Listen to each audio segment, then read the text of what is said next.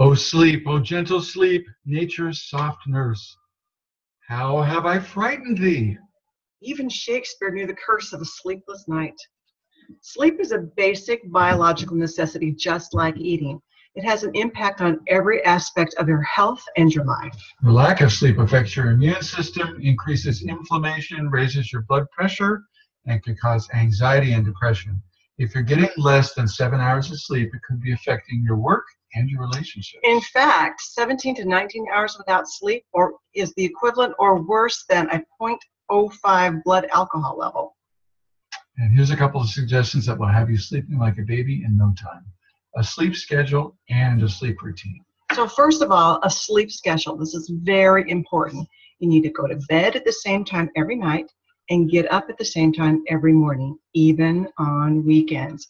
It keeps your biological clock steady and then you can rest better.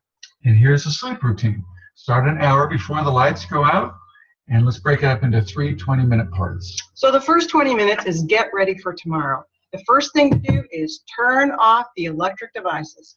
Pack your bag, get your clothes out, and then what I consider the most important, make a list. The number one sleep complaint is I can't turn off my mind. So stop that wakeful worrying by writing down your concerns.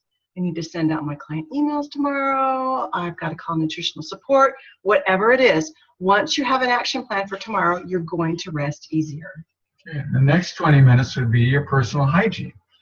Brush and floss, moisturize, perhaps a warm bath or shower, and as your body temperature comes down, your body will get sleepy.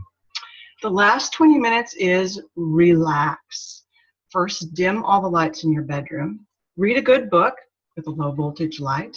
Deep breaths. Inhale for five seconds, pause for three, exhale for five seconds.